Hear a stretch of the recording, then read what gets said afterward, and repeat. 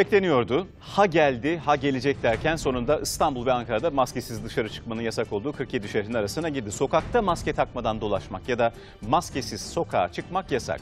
Bu iki ayrımı özellikle yaptım. Zira yanında maske olup hatta maskesi yüzünde olup da düzgün takma kuralına uymayanlar var. Ee, az önce de bunun nasıl mümkün olabildiğini gösterdik zaten. Siz de sık sık karşılaşıyorsunuz. Cezası tam 3150 lira. Bir kez daha söylerim ve şakası yok.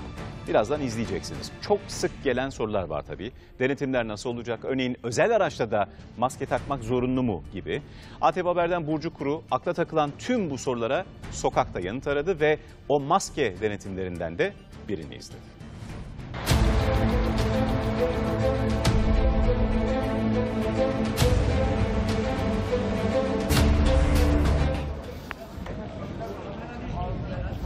Şeyiniz var mıydı? Evde kaldı. Beyefendi maske takmadığı için 3150 lira ceza yazacağız.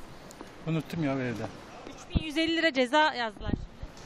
Miyim? Kimi evde unuttu, kimi cebinden çıkardı, kimi ise düzgün takmadığı için binlerce liralık ceza ile karşı karşıya kaldı. Efendim sizin de bir kısmı kapalı. Evet burun büyüklüğünden biraz kayıyor. Takılıydı fakat hiç farkında değilim kaymış. Beyefendilerde maske var ama burunlar açık. Gördük. Şimdi efendim kriter şu. Maske takılı mı değil mi? Maske efendim taktım. E, maske var burada. Bu değil. Maske var. E, taktık. E, böyle. Bu da değil. Maske bu. Cezai yaptırımı ne olacak böyle taktıysak? E, ağzı açıksa veya burnu açıksa buradaki gibi burnu bunun cezası 1000 TL olmaz veya 500 TL olmaz.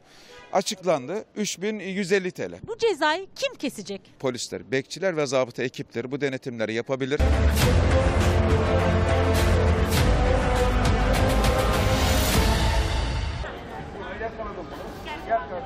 Maske cepte mi? Evet. Niye takmadın?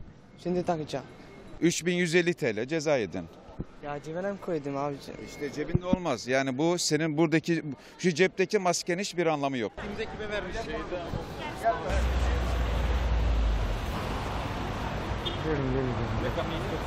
Niye takmıyorsunuz? Takıyorsunuz da tak. Nefes darlığım olduğu için hani çok fazla takılı durumda bırakamıyorum. Birçok kişi de işte rahatsızlığım var diyerek maske takmıyor. Efendim sizin neyiniz var? Ben kronik astım hastasıyım. Raporum da elimde sürekli yanımda da geziyorum.